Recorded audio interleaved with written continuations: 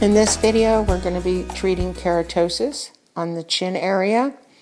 This is a little different treatment. I have the machine set between uh, 5 and 7. So 5, 6, or 7.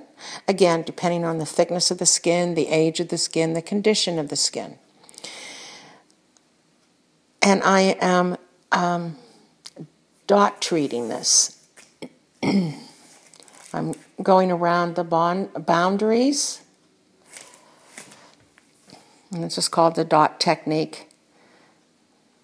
It's like coloring in the spot, coloring, outlining it. And that keeps me within the boundaries. And then I go back and I and I just stay within those boundaries. And what I'm doing is is uh, lowering. You know, we're burning that skin in, in in the center and getting rid of that raised area. I'm applying just a little bit of pressure, not too hard, but just a little bit of pressure, and that helps the patient's discomfort. And you'll notice I actually begin to take that skin and roll it. I, am looking inside. I want to make sure in, within those boundaries, inside the boundaries of the, that it's all the same height, that it's all even. I, I don't want it too deep. I don't want to make a divot in the skin.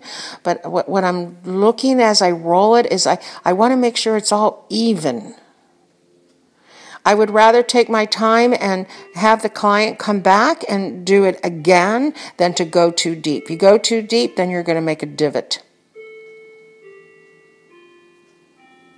And again, this will take maybe seven to ten days to completely heal. And it'll be the same skin color.